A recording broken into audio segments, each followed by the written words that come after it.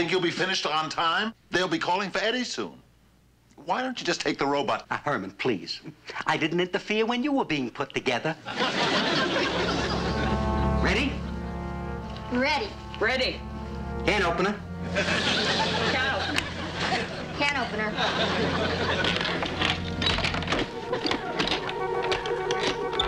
Pliers. Pliers. Pliers.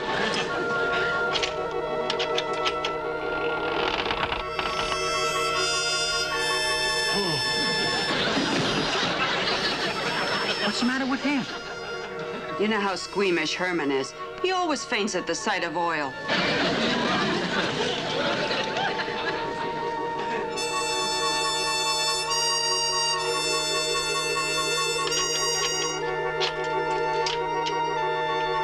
Ribbit.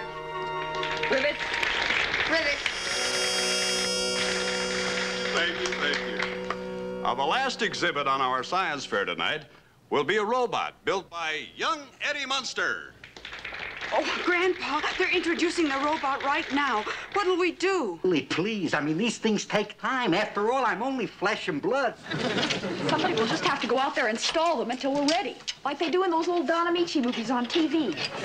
But who? Is it over yet?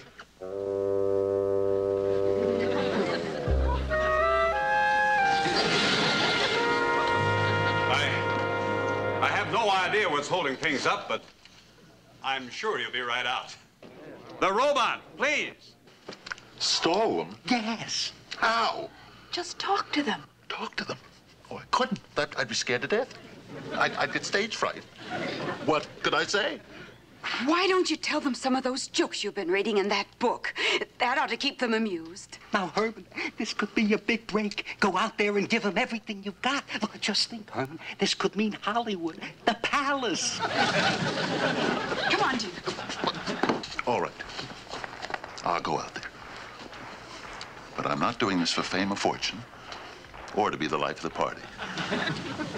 I'm doing this for Eddie.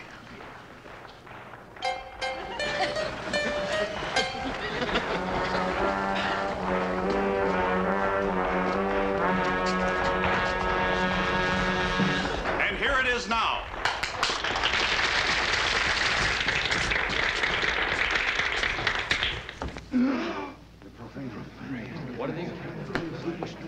here it is now. Uh, I've been asked to come out here and uh, entertain you.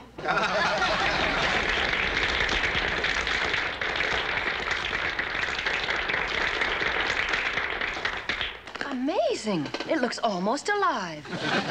Why can't our Sydney build something like that? He's 16 years old. He can barely wave bye-bye. Ladies and gentlemen, uh, uh, this is my first public appearance, so you'll have to bear with me if I don't function too well. As a matter of fact, this situation reminds me of a story. One time, Abraham Lincoln was asked if he found appearing at public ceremonies annoying.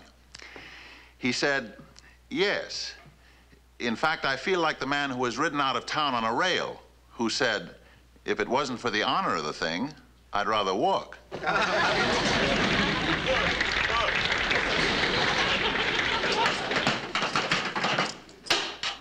I think I found the trouble.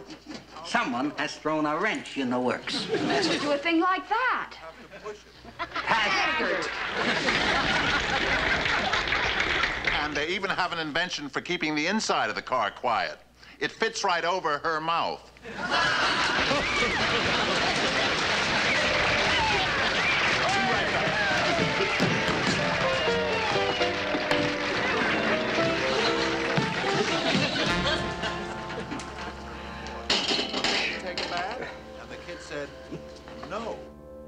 That's as much as I can do. Now it's all up to that big mechanic in the sky.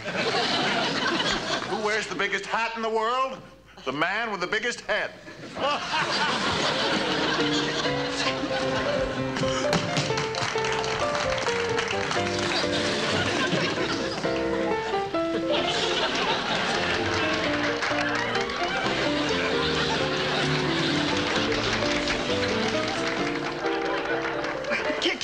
out now? Of course. All we have to do is get Herman off the stage.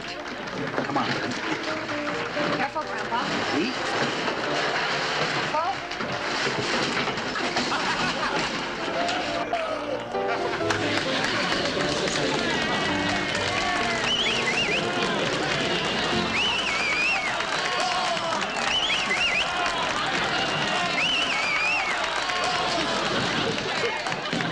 Was great work, Herman. But you can stop now. The robot's fixed. Stop now. Are you kidding? You hear him out there? I'm a smash. I tell you, they're my kind of people. They love me out there. I got them right in the palm of my hand. Herman Munster. You ought to be ashamed of yourself. Aren't you forgetting something? This is supposed to be Eddie's night, not yours. But Lily, I. Lily, I guess you're right. I'm just a big ham. It was the lights and the applause. I. I just got carried away. Eddie? You hear that out there? That's for you. Now take your robot and go on out there and kill him.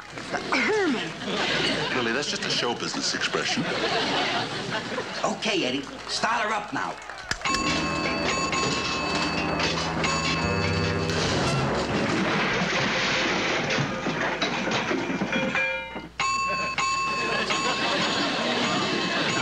Sorry, Eddie. I've let you down. It's all my fault. What am I gonna do? There's nothing to do. I'll just go out and explain. No, Dad. That's my job.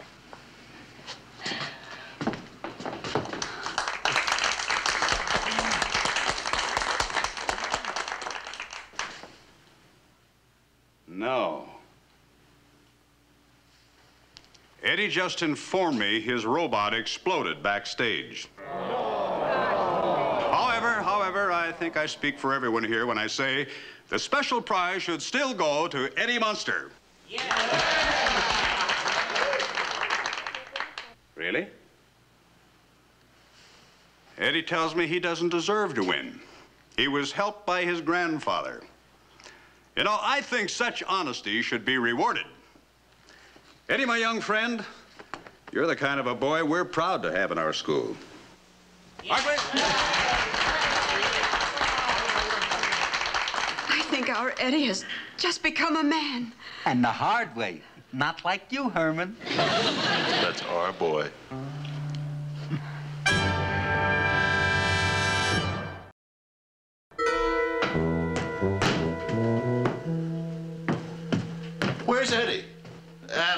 Joke book? I haven't seen it.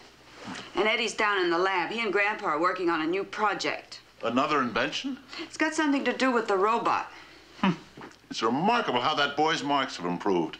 He's liable to turn out just like me if he keeps his head to the grindstone. So glad to hear they sent that awful Mr. Taggart back to prison service. It's men like him who give prisons a bad name. Why does a chicken cross the road?